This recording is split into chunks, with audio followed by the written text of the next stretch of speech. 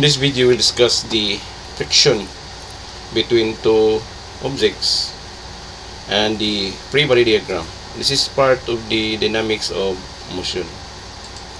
So, friction is actually defined as the force between two objects. So, if one is moving, then there must be a friction on the two objects. And the friction is always opposite to the motion of the particle. So if the particle is moves towards right, then the friction is towards left. It is always an opposing force due to motion. So it is actually the resistance. No?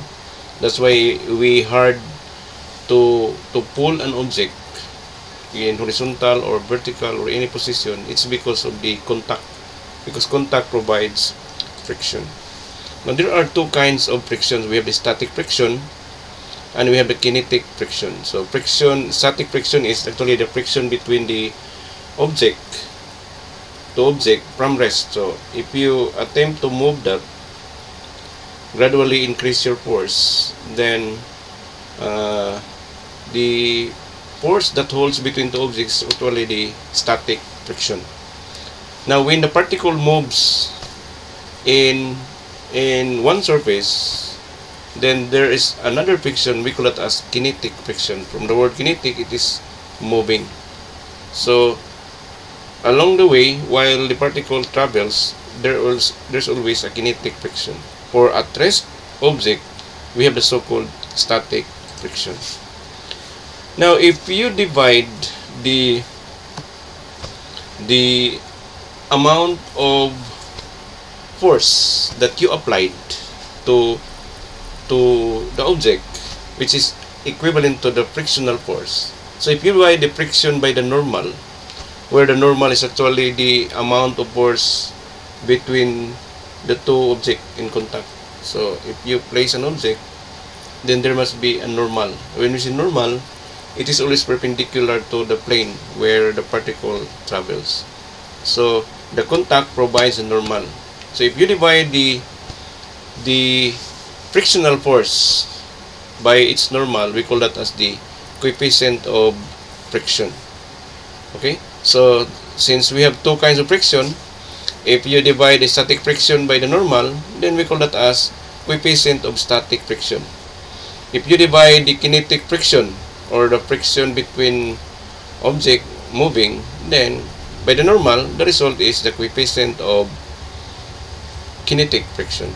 And that friction, that coefficient is actually the property of material in contact. So it depends upon the material. Which means that if we have a wood moving on the horizontal wood, wood on wood, we have the coefficient of that friction based on that condition of material.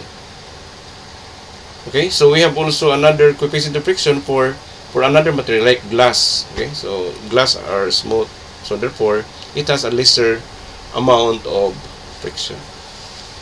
The smoother the surface the smaller the coefficient of friction. And take note that coefficient of friction is always less than 1 why? Because the frictional force is always less than compared to the normal force. Okay? So That's it. So, if you divide the frictional force, whether static or kinetic, by its normal, the answer is the coefficient of friction. And this is the property of material.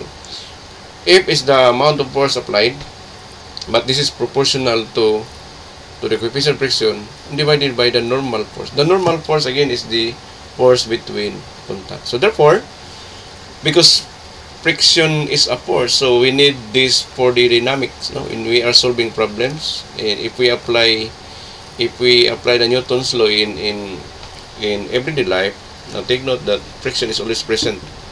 Friction is always there where there are uh, objects in contact. So if you are calculating the amount of friction so you can transform this one diagonal product then friction is the mu or the coefficient of friction multiplied by the normal force. So the requirement of to obtain the friction is we need the coefficient of friction by its normal force. Okay, so take note that N is the normal force and this is the exerted by the contact surface of the object. So, for example, we have the horizontal plane and we have this object M lying on the horizontal plane.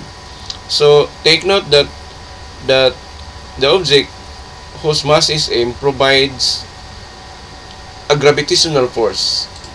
Okay, so we have the weight downward because weight is always directed towards the radius of the earth. So this is directed towards the radius of the earth and this is the gravitational force, weight. The force that the earth exerts on that object. And in contact to the surface, we have the so-called normal. So the normal is always is present only when there is contact between two objects. In this case, horizontal plane and the object on top of it has a contact. So therefore, there must be normal. Without contact, there's no normal force. So in other words, if we have the normal force, we have the frictional force at that surface. Okay? Now, if the normal is is upward, okay, vertical, then the friction is always horizontal because they are uh, 90 degrees in in in difference of the angle. So the angle between the normal and the friction is always 90 because I'm because take note that the normal is always perpendicular to the plane but the friction is in line is the same uh, line with the plane. So it's parallel to the plane but it is always an opposing force okay? So if you apply a force let us say pulling pulling force P towards the positive X. So you apply the force on it. And there there is a contact between the object then friction is present in the contact surface. And it is always opposite to the applied force. And the amount of force F is actually uh, mu times in okay? So with that we have the therefore there are four forces when the object is actually placed on top of the horizontal. And if you apply a force here then there there are four forces the weight normal applied force and the friction. So again why is it that we have friction? Because we have contact. Yeah? if we have the contact then you have the normal. Then normal provides friction always okay so what will happen if we have inclined surface? So if we place the object on top of it okay now we overlay this Cartesian and we will apply a force on the positive x-axis. Now take note weight is always downward. So therefore there must be an angle from the assigned y-axis. We have this angle with respect to this axis okay and we have also and we have the component we have the component along this axis y and we have the component along along x for w. Now in this case in the first figure the weight is always towards the negative y and we have the positive y as normal force. Now in this case now the question now is if we incline the plane where should be the normal force? Okay? Now remember that the normal force is look at the definition. The normal force is exerted by the contact surface to the object. So it should be what? Perpendicular to the surface always, in contact. So in this case, our normal is was inclined. And this is directed towards still in positive y because we inclined Cartesian. But the W is always vertically downward. So it must have the angle. By the way, whatever angle here will the same angle as this one. Okay, so if you apply a force, if you apply this object up the plane, then friction is what? In opposite direction. If this will move upward, then friction should be downward. If this object will move downward, friction must be upward because it is always an opposing to the direction of the motion of particle. Okay? So, now, what will happen if we remove this force? If we did not include this force, so what will happen? What is the tendency of this object? And what will be the direction of friction okay so we have this object and we have the weight okay and we have the normal so the question now is where is your frictional force directed so in this case remember that we apply a force a pulling force upward that results motion this object upward, then friction should be downward. Now in this case, there is no application of the force upward, so therefore the tendency of this object is to move down the plane. In other words, friction must be upward, up the plane. Okay? Because friction is always an opposing force due to the motion of the particle.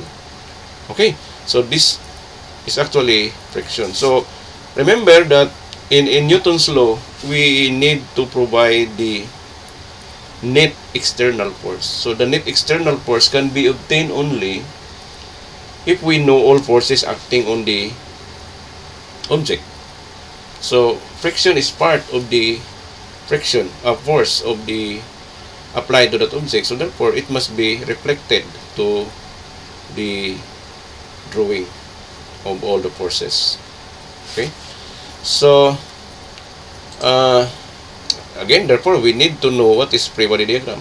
So the first, the most important part of the solutions in Newton's law is the free body diagram because it is where that we can find the net external force. So remember that the second law says that the net external force is equal to the product of the mass times the acceleration.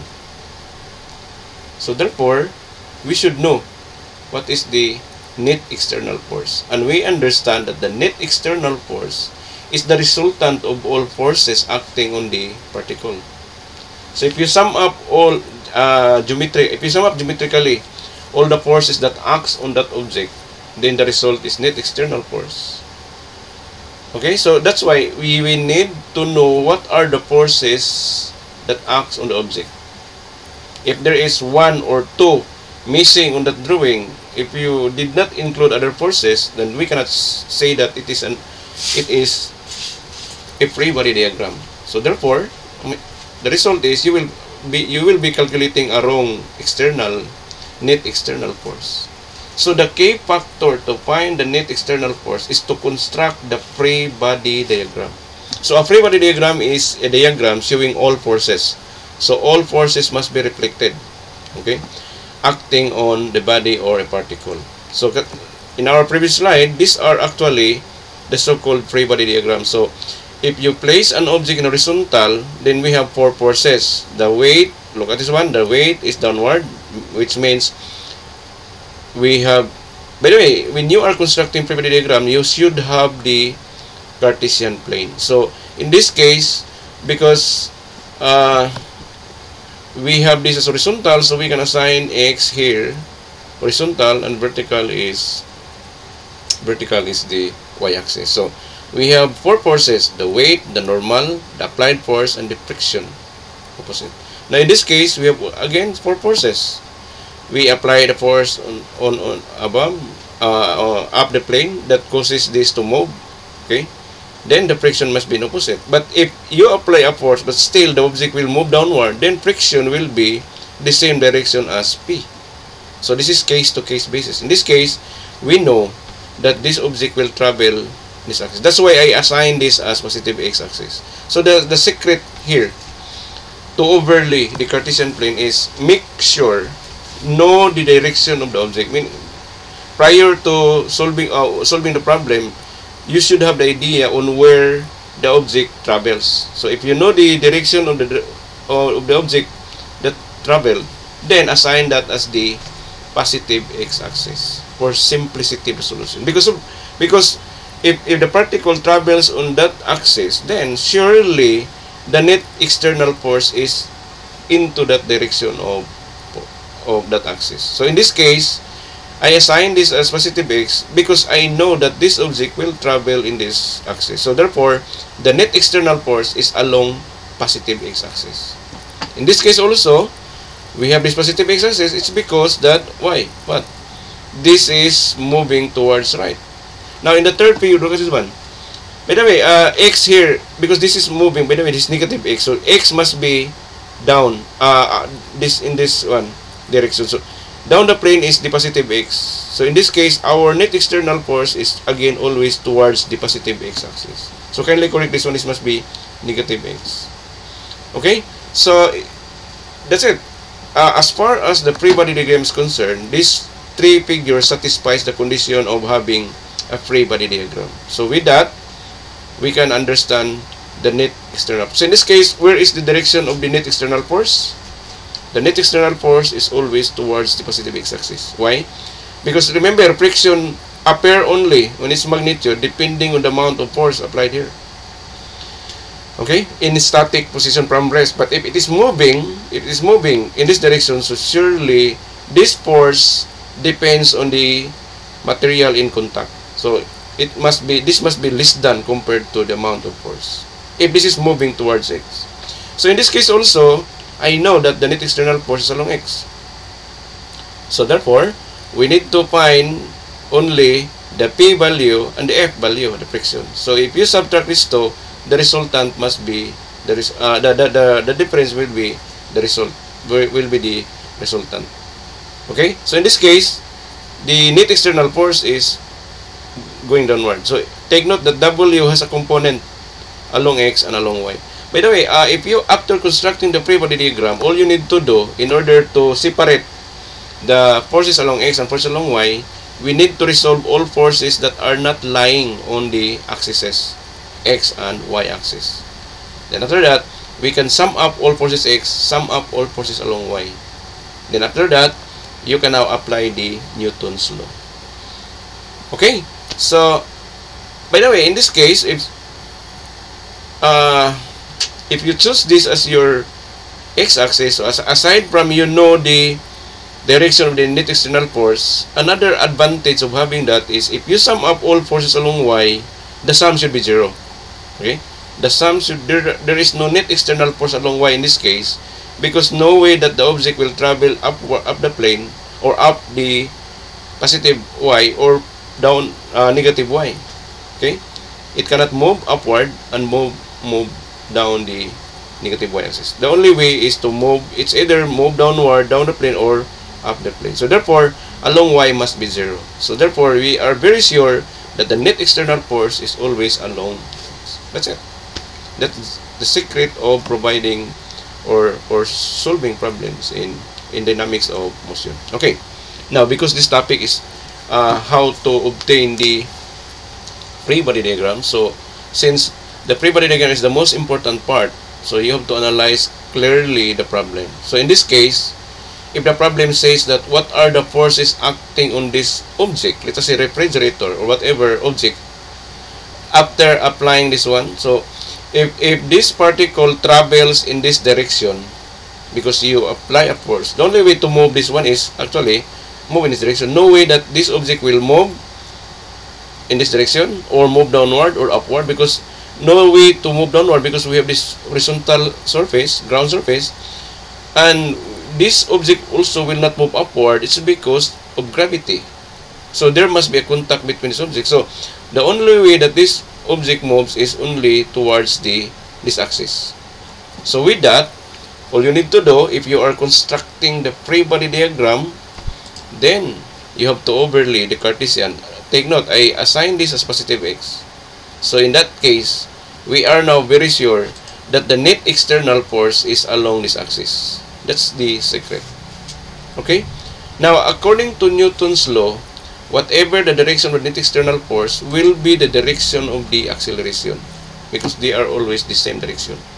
Okay? So therefore, you know already the direction of the the the force, so you have now the idea the direction of the acceleration. Okay, so then apply uh, one force is the pulling force P. Then we have the weight downward, take note, and weight is mg. Now in contact to the surface is normal because now we have contact, then we have there must be a normal force upward. And the frictional force is in opposite direction. And take note, this is mu times and depending on the amount of the coefficient of friction. Okay, the coefficient friction can be static coefficient or kinetic coefficient friction.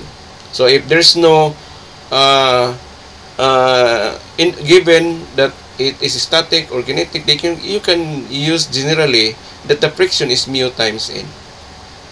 Okay, so with that, we are constructing the free body diagram. So if you have this one, you are actually solving 50% of the problem or more than 50. Let us say 60% of that. if your diagram is correct, then you are already along the way to answer the problem correctly. But if this one, this diagram is not the diagram because you ignore some forces, then you will not arrive 100% to your answer correctly. So that's why very important is the body diagram for the solution of the uh, Newton's law application problem. So this is the body diagram of the furniture. So in that case, look at this one to analyze. So if you sum up along along y, this must be zero because this is in equilibrium situations. It should be at rest along y because it won't move upward nor downward. Okay? So the force must be zero. So what are the forces along y? The forces along y are normal. So normal, positive, weight downward, minus. So sum up this one, the sum should be zero. So in other words, you can solve for the normal. And the normal in this case is equal to the weight. But the weight is equal to mg. Okay, that's it. So you know already the normal. By the way, we have be sure to have n normal because take note that friction is mu times n. So if you if the problem says given the coefficient friction, multiply it with the normal, which is in this case, it should be equal to the weight, but the weight is mg. So we can always solve for the value of force. Okay, then after that, you have to sum up all forces along x. Now, this is where we are uh, concerned of because we know that the forces along x is not zero. In fact, it is the net external force. Now, the net external force, remember, has the formula in the Newton's law. And it is the product of this mass of this object times the acceleration of that object. So if we know the net external force, then we can always solve for the acceleration. Now, mostly in the problems in dynamics, is actually solving for the acceleration. So therefore, net external force should be obtained. Okay? In some few some cases, uh, given the acceleration, then you can solve for the net external force also, vice versa. So with that, we need the amount of P. So depending on the problem given, and friction, take note, is mu times n. So with that, we can solve for the uh, uh, uh, the acceleration or, or whatever anon. Why? Because take note that if the net external force along x, or the force along x, will be the net external force. So we can assign this as F. So this is it. The net external force is equal to forces along x. But force along x is px minus f. Okay? So f is mu times n. So this is the. Then equate this to second law formula. Then that's it. Okay, look at this one. There's a note here. Note if the pulling force is less than friction, what will happen? If your applied force is not enough to overcome the friction, this object will not move. Okay? But take note that this friction depends on the amount you applied. This would not be equal, uh, this would not be greater than P. But the moment you increase the amount of P, this friction also increases. Okay, if you continuously increase the amount of P, then this force attain its maximum amount of friction. Because the friction, remember, depends on the contact of the surface. So therefore, if your applied force is now greater than the friction, then this object will start to move. That's it. Okay? Uh, okay, so that's it. We have we are already constructing the free body diagram of uh, this object and we should always hold all the forces that act on that body. That's why very important because these are actually the solutions to the problems in uh, dynamics of motion. This is steps already leading to answer. So that's why I say that if you are constructing the free body diagram, you are more than 50% of the solutions to arrive the correct answer. So you still have to struggle the algebra here. Okay? So, this one. So, construct the free body diagram. We have the object, and this object was applied by this force, applied to this man, but it was inclined at a 30 degrees angle. And this object moves in this direction. Now construct the free body diagram. So how how uh, to construct the free body diagram in this case? All you need to do, again, remember you apply the force here, so force P. Okay, then the weight is downward. 2. What else? Because we have the contact, so there must be a normal. And the normal, take note, this is horizontal, so the normal should be upward. Against and perpendicular. By the way, the normal force is always against the contact surface. This is object, against is, is one, and this is always against and perpendicular to the surface. So, that's it. Now, if we have the, if this is not a frictionless surface, if we have, if the problem says that it has a friction, coefficient friction, then we need to include the friction. And it, it should be always mu times n. So, very important to know how much in Because without the normal, you cannot compute for the friction. That's why, if there's a contact, there's a normal. If there's a normal, there's a friction. If there's no contact, there's no normal, there's no friction. Because friction occurs only during contact surface between two objects. Okay? So, uh, these are the forces, but we need to overlay. By the way, we understand that the force, the net external force is in direction because this is according to the problem. So, the acceleration also the same direction. So, with that, you need to overlay the Cartesian to be positive x. Why? Because to ensure that all forces along x must be our net external force. Okay, so we call this as the free body diagram of this box. So, by the way, because P is not along X, along Y, so in order to continue solving this problem, we need to resolve P. And take note, our angle is uh, X is adjacent to the angle, so therefore, this must be cosine. So, P cosine of 30, that's it. If this is given, then we can solve for Px. Then the y component of p is upward. Take note of that. So in other words, this is very important. This is a critical part, no? Because we need to evaluate whether this object is really in contact with the surface. Why? Because uh, because we don't know if this force, the Py, is much enough to to what to handle the weight. Take note if this if this P is greater than W, then there's no contact.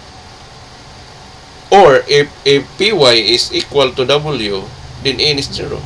So if N is 0, then it follows there's no contact. So if there's no contact, there's no friction. So in other words, this drawing is already is, is a wrong body diagram if that's the case. But if you really know, understand that this box will travel in this direction even if you applied a force here, then that's it. There must be a normal there must be a normal. Okay?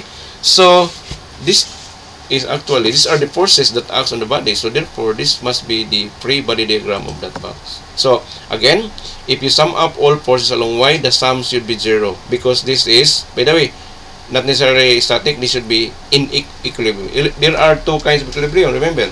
We have the static equilibrium and we have the dynamic equilibrium. So, generally, uh, you can ignore this static. This is for equilibrium reasons.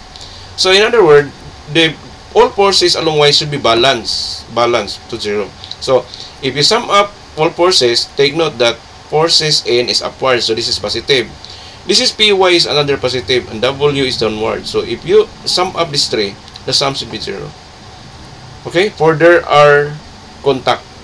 If this is non-zero, then there's no contact. Okay, so with that, sum up all forces along y. By the way, we in this case, you can solve for the normal force. Because P, if P is given, then you can solve for Py always. And that is sine. P sine of 30. And W is mz. And this, this sum should be 0. So transpose everything, then you can solve for n. Now, another process is to sum up all forces along x. This time, forces along x should not be 0. Or else, if this is 0, the object is at rest. Now, the fact that this object is traveling in this direction along x, so there must be a net external force. And that will be the net external force, which is equal to the summation of forces along x. Now, what are the forces along x? We have only two forces. The component of P along x and the frictional force. P is positive, friction is negative. So, therefore, this must be P positive if is friction is negative. So, substitute the values P, take note, is if given P with an angle 30, this should be cosine. So, P can be calculated uh, friction is mu times n. So, mu is given, then you have to compute for the normal force from here. Then, substitute. Then you have the net external force. And you can solve for the acceleration. Why? Because second law. The net external force is the product of the mass times acceleration. And the mass is given. Uh, net external force calculated from the free body diagram. And you can solve for the acceleration. That's it. Okay. So, can do it. So, net external force, take note. And this is P sine uh, cosine theta. And this is mu times n where n is taken from that. So, you can solve for the net external force. You have the mass. You can solve for the acceleration. Okay. By the way, look at this one. There's a note here. If if the sum of all forces is not equal to zero, what does it mean? If the force is not is not equal to zero, which means that P is now is greater than W. So in that case, this drawing is invalid.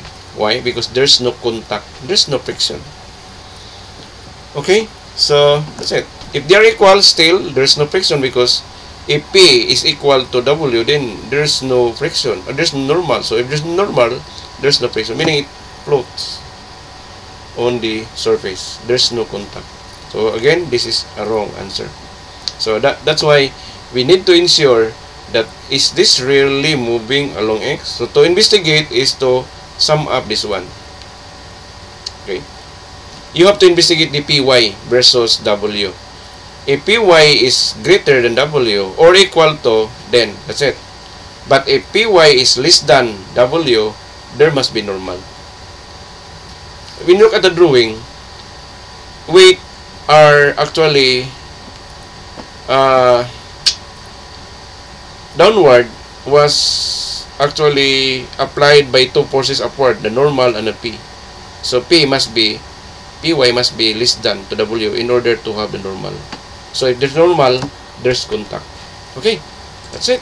Huh? So these are the free body diagrams of the so this one what will happen if you have this one so very simple so the object is moved along the plane so all you need to do is to overlay by the way x should be in this direction so you have to incline your your Cartesian to ensure again that your net external force is along this axis. So that's the secret again in in solving problems. And you will now you will now uh, actually uh, understand that the net external force is along along x. And along y again is zero always in that case. So that force weight take note. By the way if this is 30 uh, if this is 20 degrees this is also 20 degrees geometry. So you can always solve for the component of w along y and along x. Again because we have the contact the normal should be this direction and friction should be in opposite. Then sum up all forces along y what are the forces along y? It should be f cosine of 30 degrees because this is inclined 30 positive and then minus friction. And normal what is normal? Sum up all forces along y and equal to zero. So what are the forces along y we have the component of w along this axis the normal is along positive x-axis this f component has the component along y and it should be what sine f sine of 30 degrees so with that we can now resolve, we can solve now force along x, then equal to 0. Then we can solve for the n, and n should be applied to this one by multiplying mu to becomes friction. That's it. Okay? So, the free body diagram of this object. So, we know that the net external force is in the direction y because we assign this as x. And the problem says that this is moving along this axis. So, very obvious no? that this object will move upward or downward. So, x must be along this axis. So with that, the acceleration is also the same as the direction of the. Very important is the law of uh, second law of Newton. Because whatever direction of force will be the direction of the acceleration. Vice versa. Of acceleration will be direction of the force. So we are, it's very clear that force is along this axis. And it has also the acceleration along this axis. So resolve the component along y along x. And with that, this 20 degrees is the same as here. So we can resolve this, solving for wy and wx. That's it. So these are the free body diagrams. Okay, let's apply this problem to to double system, double object system. So the problem says that in the horizontal table, we have these two object and at the end of the table we have the frictionless pulley and in a pulley we have this cord that connects mass A and mass B. And this is it has the surface of the table has a friction of 0.20 kinetic friction. So mu k is 0.24 take note that the coefficient of friction is also less than 1 the coefficient of friction is always less than 1 why? Because it is mu is f over n. F is less than the normal always. So in this case this 24% is actually the coefficient friction between the friction and the normal. Okay the problem says that what will happen if we have the 6 kilogram on lying on the table assigned that as mass A and the hang object what's, which is connected by means of a cord and this is a frictionless pulley. So uh, don't mind with the friction here because it is negligible then the hang, hanging mass is 8 kilograms so this is greater so surely this object will move downward no way that this object will move in this direction. So the tendency is to at rest or maybe down, down, downward. So if you if you have no idea whether it is at rest or or or or moving, now you can assume direction actually. Okay. Now if you're uh, uh, if you assume that this is moving in this direction, then be consistent. There must be acceleration. Okay. Now if you calculate then the acceleration is zero, what does it mean? Then, this object is at rest. Okay? So, that's it. So, in this case, we are asked to find what? Find the distance between two bodies. So, therefore, between two bodies, when it travels after 2 seconds. So, that's what that's it. How, what is this distance after traveling 2 seconds? So, whatever this distance, take note, is the same as this one. The same time because simultaneously they are connected. So initial time final time initial time final time the two objects are the same. So displacement must be the same also. Now how to compute this one? Now if you apply the kinematics again what are the given informations the given is actually the time and the initial velocity is zero what else we need three we need only two so in order to complete the given data, in order to apply the kinematics, we need to solve for the acceleration. And the acceleration can be solved only using Newton's law. But take note that what? We have two objects. What will you do? How, how will you deal uh, this kind of problem if we have two simultaneous objects? They are connected, remember? So, the net external force are affected. So, how will we apply the Newton's law in this case? So the answer is, all you need to do is to analyze it one by one. So construct the free body diagram of the mass A, which is lying on the table, and construct the construct the uh, free body diagram of the object mass B Okay. Then take note that the key factor there is whatever acceleration that A travels after 2 seconds is the same acceleration of object B travels at 2 seconds also. Which means that uh, we can create an equation involving what? Involving A here. But we cannot solve. Okay? Uh, but remember, another object is another set of body diagram. So meaning, we have another equation that involves A. Now remember that when you analyze the forces on A, we need the tension of the cord. And we don't know how much is the tension. In other words, if you, if you construct the free body diagram of mass A, you involve two unknown variables. And they are what? The acceleration and we have the tension in the cord. Now remember that the acceleration will be incorporated to the equation because we can equate the net external force on A in terms of the acceleration and its mass. So therefore, if you continue solving on using the free body diagram of A, it will involve acceleration and tension of the cord. Now, take note in third law, whatever tension applied to the object here, of A, is the same tension that is applied to object B. Which means again, that if you do the free body diagram, then continue solving, then you have two unknowns here. So in the other word, you are creating two equations with two unknowns. And the unknowns are A and T. That's it. So, again, all you need to do to solve this problem is to construct the free body diagram at of mass A. So then, next is B. Okay, let us start A.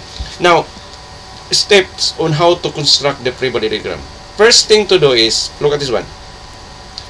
Uh, analyze where's the direction of A.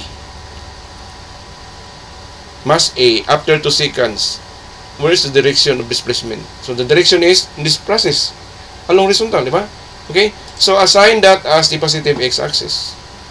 To ensure what? Again, our previous slide, to ensure that the net external force is along this direction. So with that, what are the forces? Weight downward, negative, normal upward. The tension in the cord is positive because this is positive x. Now the friction is negative in opposite side. Okay, then acceleration now is in this direction okay why because we understand that we have this we assign the x to be our net external force of mass a take note the net external force of mass a is not equal necessary equal to the net external force on mass b it depends upon its mass if we have the same mass then the same acceleration but different masses have different uh, net external force on each other. Okay. So with that, okay, we have we already constructed the free body diagram. All forces are reflected on the object A. So next is what? The free body diagram must be. So think of the direction. Where should be the the direction of B after 2 seconds. So you have to do it consistently. Take note that this object A will move horizontal, then this object B must be downward. Okay? So in other words, X should be downward. So look at the assignment of X. I choose here X because I want to make sure that the net external force is along X. So with that, what are the forces? Weight is mg, mv must be mg of g. Then uh, we have the nor uh, no we have no normal force because there's no contact okay so instead we have the tension in the cord upward and it is minus by the way this is minus t cord represent the tension in the cord this is positive t cord because remember this is the action and this should be the reaction force. The action force must be what? The same magnitude but in opposite direction. So one is positive the other is negative. They are equal take note of that. So this actually third law of Newton. Okay so we are done with the free body diagram. So we are now sure that the acceleration again by the way the acceleration here is the same as the acceleration of the object. Then the net external force of B is not equal to A because they are of different masses. Okay? So then we will now do the mathematical processes. Start with what? So we will start at mass A, free-body diagram mass A, then we will provide equation A, equation 1. Then go with the mass uh, mass B, use the free-body diagram, then you will undergo an equation uh, let that be equation equation 2. Involves what? The acceleration and t. This also involve acceleration and t. So, the two equations now become simultaneous. And we can now apply the algebra using the simultaneous equations. So then, so you have to sum up all forces along y. So what are forces along y? Weight, okay, downward, normal is upward. So because this is equal to 0, then we can solve for n. And n now is equal to WA, but W is MAG. That's it. So the purpose of summing up all forces y is to solve for the normal. Why? Because normal is important to the friction. So with that, sum up all forces along x. Okay, do it sum up all forces along What are the forces along X? It should be T cord. And we have the friction minus. By the way, this net external force is actually the summation of force along X. The for, forces along X is actually the forces net external force on A. Mass A. So with that, substitute the friction becomes mu n but n take note is mg mass a times g so again this is net external force so we have to use the newton's law that net external force should be what the mass a because we are talking about a times acceleration so different for the friction uh, net external force of b because b is mass b times a so the same a but different masses so for now we are still on A. So with that, uh, okay, substitute these values, substitute this mass A to, to what? Mass A times A to summation of force along X, which is our net external force of A. So this is now the external force. And this tension of cord is this one, and this is mu N, but N is what? mg, mg, mag. So leave this as equation y, 1. Why? Because we don't know A and we don't know tension mu is given okay ma is 6 kilograms kunya g is 9.81 so therefore that's it uh, okay there are two unknowns in one equation so you cannot solve in algebra. This will provide an infinite solution if you, if you do it. So preserve that because we still have the another drawing. So another drawing another process another equation. So equate to zero along y for static or or balance. Okay what are the forces along y? By the way, along y is, there's no forces along y, so surely this is zero, so static or balance equilibrium.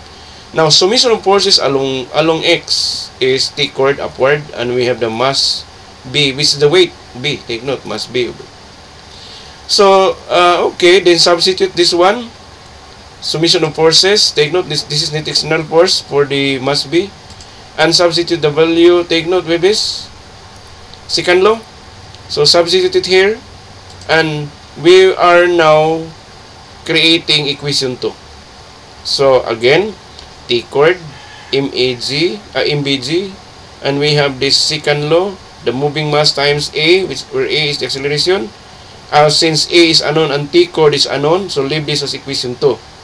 But take note, equation 1, A is unknown, T cord is unknown also. So the two equations are simultaneous equations. So, apply the algebra. How to how to do it?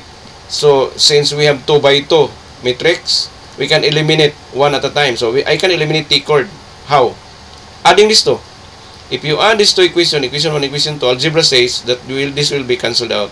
So, we can now solve for A. Okay? So, if you do it, so I, I give you the uh, to analyze this one, adding this one, this will result in this this process.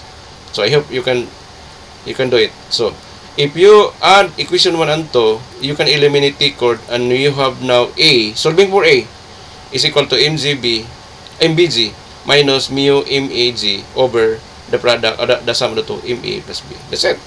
All of these are given, take note, given the problem. So you can do the substitution do it, then the answer is 4.6 meter per second squared. This is the acceleration of the double system. One is horizontal and the other is hung. And they are both uh, passing, the cord is passing through the frictionless pulley. Okay, so that's it. So, since we already know the acceleration, we cannot solve. By the way, the, the problem does not require the acceleration. But you cannot solve for D without the acceleration, remember. Uh, again, the, next is you're asked to solve for the tension in the cord. You can solve for the tension of the cord. Look at this one. If I substitute here the acceleration this one, A, then you can solve for T chord, actually. Okay? So, or, uh, by the way, I think this is, this is not the answer. Okay? This is not the answer because equation 1, okay, equation 1 is, so all you need to do, okay, I, I have a typographical error here. So use equation 1, look at this one. This is your responsibility. Substitute here, any equation 1 or equation 2, substitute it here A, then solve for T chord. It is the same as if you substitute it here, then you will arrive T chord.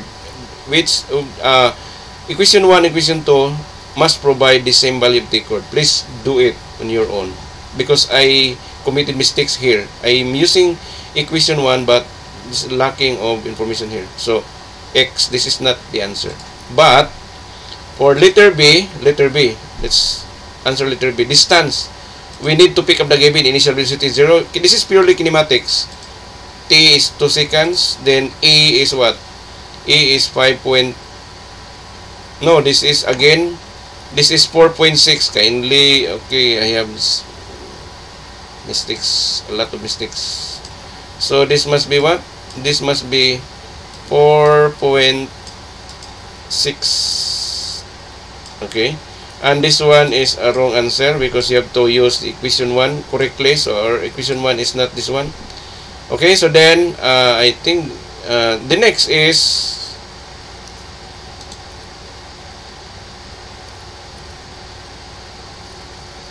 okay then from kinematics use this formula substitute this value okay eh, okay. Uh, substitute this value here 4.6 substitute to acceleration and time is 2 seconds here then you can solve for the problem. This is 0 the initial velocity is 0 so it is purely 1 half a 4.6 times t but t raised to raised to 2 okay?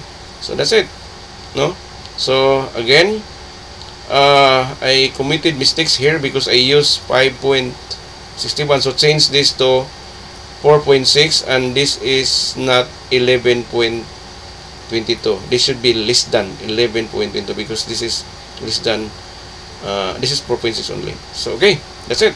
So as uh, anyway the, the the most important part is you have the correct acceleration. Please do the corrections on your own. So if I were you resolve solve, solve this again on your own idea then continue.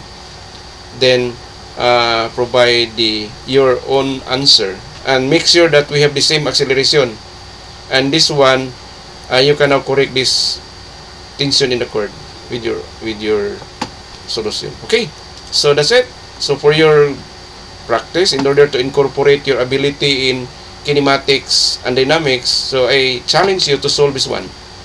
The object will move here from A to B. This is dynamics B to C under dynamics. Then after this, this is projectile motion. So the question is actually in the bottom part question, what is the total time traveled from point A to point D? So you this is a good problem because this involves kinematics and dynamics of motion. Okay, so that's it. Thank you for listening. So uh, see you on my next video